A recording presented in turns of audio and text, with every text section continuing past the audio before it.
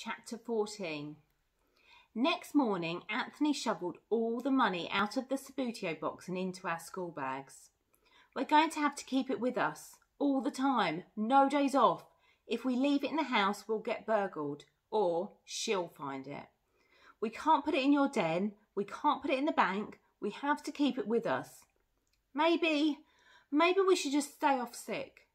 But we're not sick, I replied. No good anyway. They're casting for the nativity play today. We've got to get parts or our cover's blown. So we put the bags of cash on our backs. And to be metaphorical about it, the money had become a burden. There was a man outside putting a sign up that said, This is a home watch area. Dad said it was pretty ironic putting it up on the day after the burglary. We set out for school. Terry from IT was getting into his car and he pointed to the sign and he went, Irony, eh? Do they still do irony at school? If they ask you for an example, that's it. OK, will do, said Anthony and walked on. When we were crossing the field, I said, What if we don't get picked for the nativity play? We'll get picked, don't worry. When we were at All Saints Primary, everyone wanted to be in the nativity play because you got a special party of your own afterwards. It turned out to be different at Great Ditton. When Mr. Quinn came in and said, Right, 5M, this is this class is going to provide Mary, Joseph and the shepherds for the juniors nativity play. Who wants to be Joseph? I shot my hand up in the air, the same as anyone would. But when I looked round, instead of being surrounded by waving arms, I was on my own. Not one other boy put his hand up. They were all just sitting there looking at me. I couldn't understand it. Then I looked closer and saw that every one of them was clutching a £20 note under their desks. Anthony had paid them all off. Mr. Quinn looked uncomfortable. Kept my hand up there. No one else want to be St. Joseph? Damian? Damian could be a shepherd. He's probably had enough of saints, eh? Jake, what about you? Couldn't do it, sir. Allergy, sir. Allergy to what? Synthetic, sir. Mr. Quinn looked puzzled. The beard? I kept my hand held high through all of this, so he had to pick me in the end. Trying the costume on was interesting. I'd always endeavoured to emulate the saints, but I'd never actually dressed like one before. I had sandals, a crook, a big black beard. Mr. Quinn helped me put them on. He said, St. Joseph never did anything weird, did he? I mean, he didn't spurt milk or levitate or anything. Not unless being visited by angels is weird, I said. He looked at me, searching in the eye, and then said, No, no, I can live with that. Anthony was playing one of the kings. His teacher, Miss Nugent, said, Now there are three kings. Which one do you want to be? The one with the gold. Miss Nugent made Anthony a block of gold out of a Rockport shoebox and wrapped up in gold paper. He carried that block of gold with him everywhere. He became interested and inspired by historical aspects of the, the Nativity story. For instance, he said to me, Do you realise how much a block of gold that big would be worth in today's prices? A lot, an awful lot. Makes you wonder. What? I said. Well, he had all this money and then later on, when he was grown up, he was poor. They must have spent it. They must have had a great time. We had a big dress rehearsal. We didn't go home after school. We all took sandwiches and waited in our class for our turn to see the makeup lady, which was Trisha's mum. There were dozens of little girls dressed as angels. They had to stand in the corridor and practice Silent Night and Little Donkey until they sounded like real angels, and Miss Nugent kept giving them orange squash. I know they weren't really angels, but they'd still made me feel safer. Trisha's mum drew lines on my face with an eyebrow pencil to make me look old, and she made my hair grey with flour, and I was ready to go on. I had already managed to Google up quite a lot about St Joseph. I think Miss Nugent found it all very useful.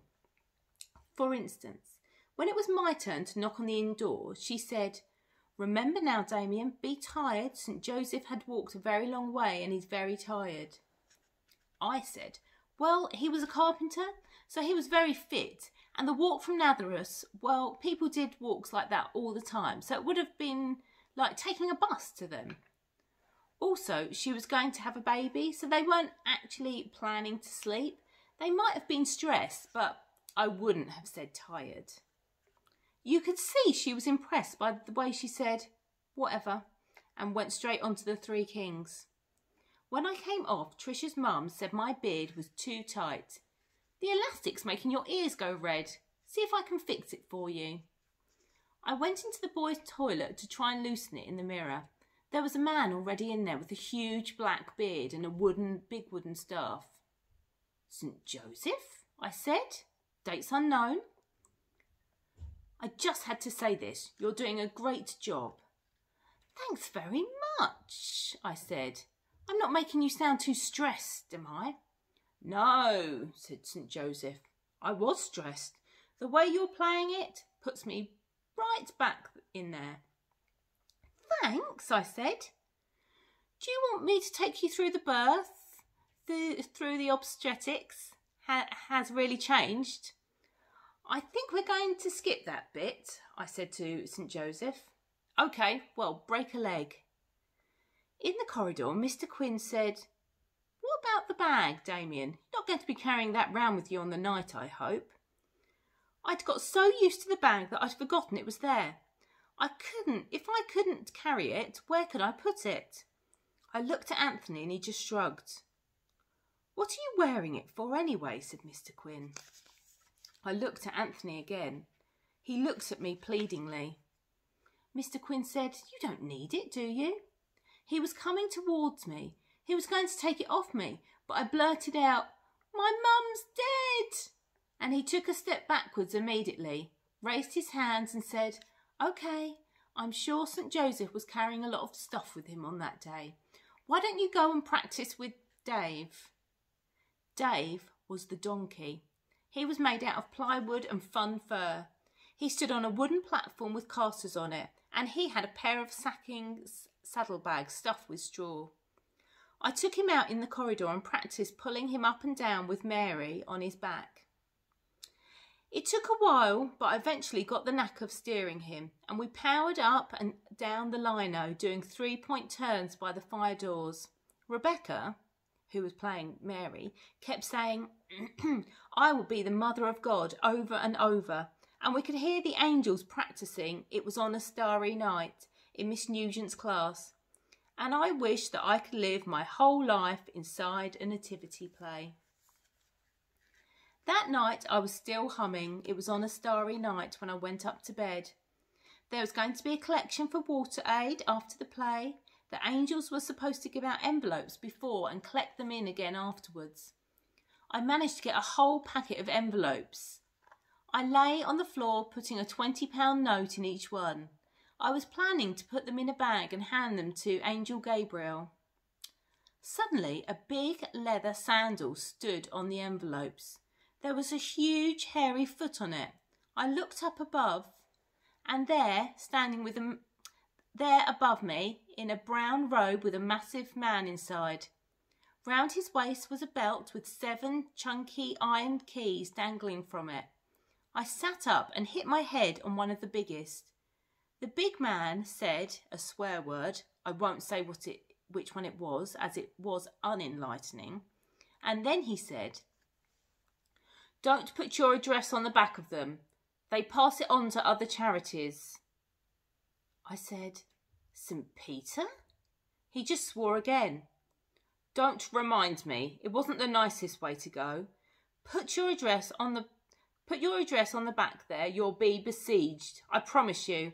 Every tin shaker in Christendom will be on your doorstep. Believe me, I know what I'm talking about. I'm infallible. I actually had written our address on some of the envelopes, but only a few. Is this yours? and he was holding up a key. It was the key to our old house. I normally kept it on the windowsill. Jointed pin tumbler, engineering perfection that, the drum action is miraculous. I'm the patron saint of keys, you know. Now, about this money. It's stolen, I said. I know. I'm the patron saint of keys and locks and security arrangements in general. I know it's hot. Does that mean we should give it back? I said. But if we do, they'll burn it, so that's bad too, isn't it? I keep trying to do good, but everything's messed up. You're stressed, said St. Peter. I'm stressed. We're all stressed. This is my portfolio, right? Like I said, keys, locks, security. On top of that, Fisherman Pope's Rome. I am run off my feet. I supposed to mind the gate too, you know. I see everyone in and everyone out. Do you really? Everyone? I asked. Yeah. Why? Was there someone you were looking for? I said, Well, but then I changed my mind. No, it doesn't matter. He looked at me and sat on the end of the bed. I'm going to tell you something now, Damian, that I've never mentioned to anyone. Didn't mention it to Luke or Mark or John when they were asking, just kept it to myself. But it's true.